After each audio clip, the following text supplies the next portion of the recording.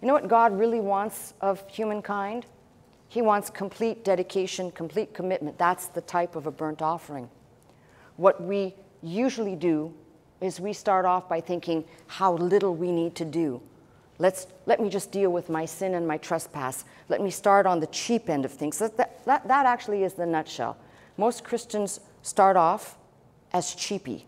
Okay, they, they don't want to recognize that they owe it all to God, so they start with this. Let me do the bare minimum, like a little insurance policy. What do I need as the minimum to make it in or to appease the angry God until you start to learn about God and you realize that the methods that He's prescribed speak of who He is and how we are to relate to Him.